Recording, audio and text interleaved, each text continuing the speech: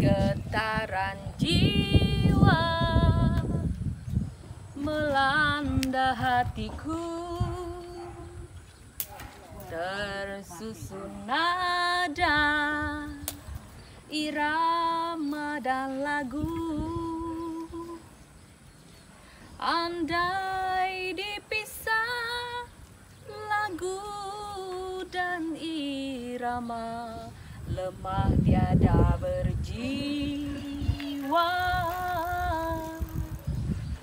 hampa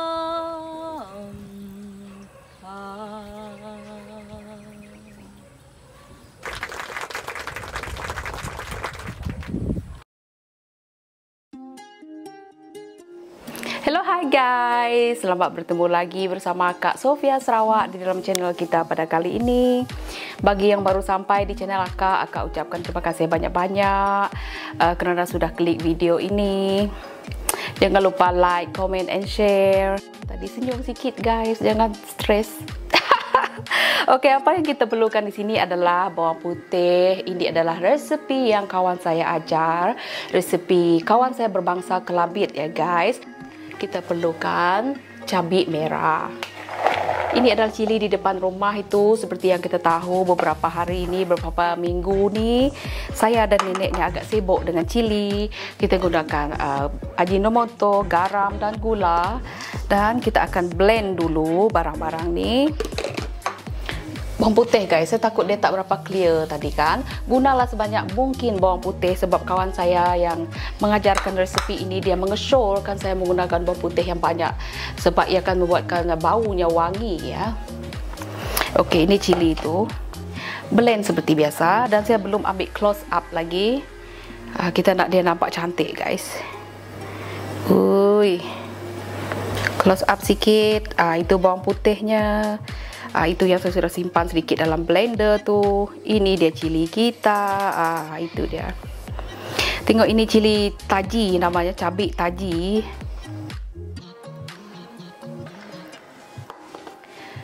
Okey, sekarang saya mula blender. Blender lah seperti biasa, campurkan dengan bawang putih di sana. Saya rasa dua kali blend ni. Okey guys, saya pun sudah pelos. Saya padam dulu uh, video ni. Nanti kita sambung lagi di bahagian sana. Saya gunakan air dan sedikit cuka, cuka beras ya guys untuk saya blend ya.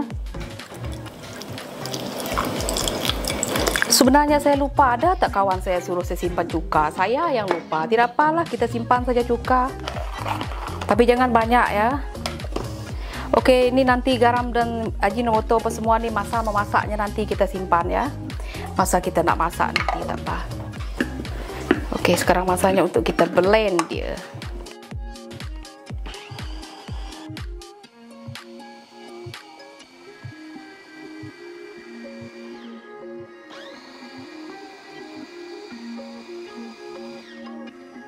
Okey guys, anda juga boleh menyimpan uh, halia ya, tapi saya tidak menyimpan halia.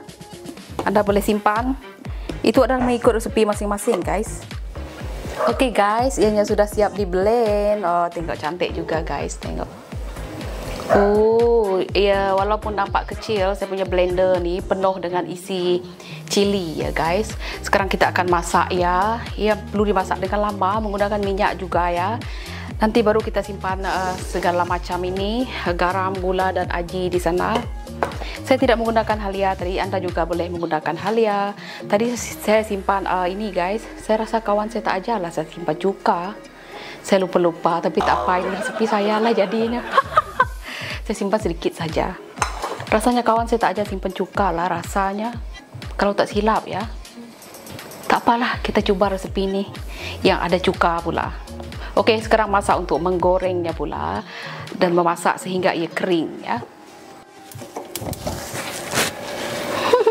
Hidupkan api dahulu seperti biasa, lepas tu kita akan simpan minyak.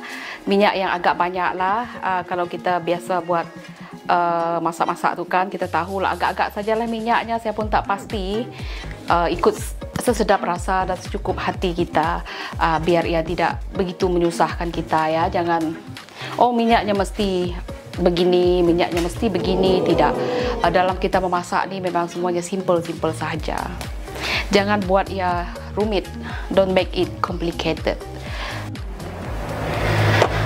Dan guys uh, nampaknya ia akan pedas nanti ya. Jadi akak sediakan masker ini supaya tidak bisa sangat masuk ke mata ya bisa bisa pedas lah maksudnya. Oke kita masukkan. Ini saya perlukan kamera yang banyak sikit sebenarnya.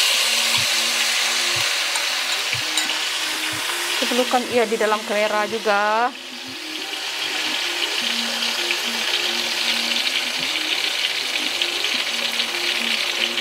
Oke, kita gunakan kamera ini.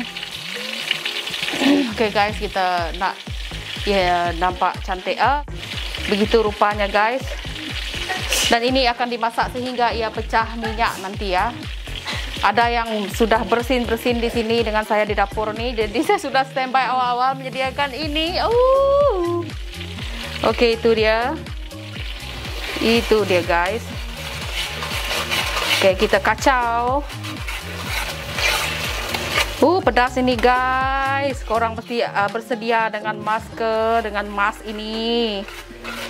Kita akan masak sehingga ianya pecah minyak ya. Kita akan masak sehingga pecah minyak guys. Kita akan tunggu nanti bagaimana hasilnya. Senang saja guys, sangat-sangat senang ini kalau ada cili yang banyak jadi kita buat macam ni, kita buat sambal ini.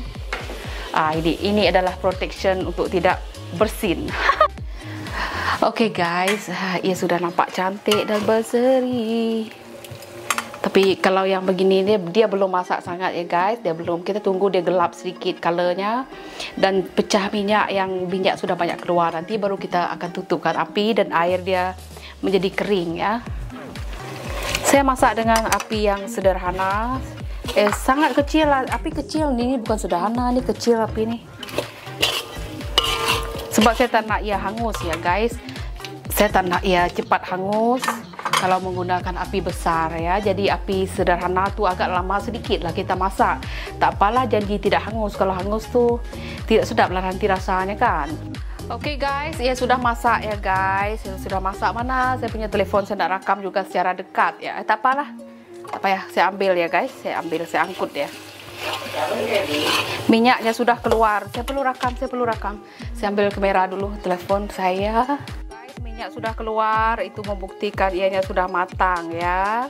Wuih, uh, saya sudah simpan gula saya sudah simpan garam dan aji di sini. Tadi saya sudah merasakan juga. Sangat pedas guys. Hmm. saya tambah gula lagi saya tambah gula lagi. Udah cukup cukup cukup. Saya tambah gula lagi guys lepas tambah gula tuh biar dia lebih sangat pedas guys. Oke okay, akak nak simpan di dalam eh kontainer janganlah. Jangan simpan panas kan guys. Kita simpan dalam mangkok dulu sebelum kita pindahkan ke dalam kontainer kita cari mangkok. Itu salah tempat salah tempat. Itu adalah salah sama sekali. Oke okay, saya simpan dulu di dalam ah di dalam apa guys, kita gunakan pinggan biar ia nampak cantik ya. Dan cepat sejuk. Sebab pinggan ni rata. Ia seperti sambal nasi lemak. Woi, kalau simpan kacang sedap guys. Betul juga. Tapi tak apa, pilih ni tak ada kacang. Kacang tanah yang saya masukkan guys. Oh, pedasnya bau. Oh, sebelum minyak tu meleleh ya. Ah, tengok ni guys. Ui. Ini dimakan dengan sayur kegemaran agak guys. Uh, dengan nasi panas ini cukuplah jadi lauk saya guys.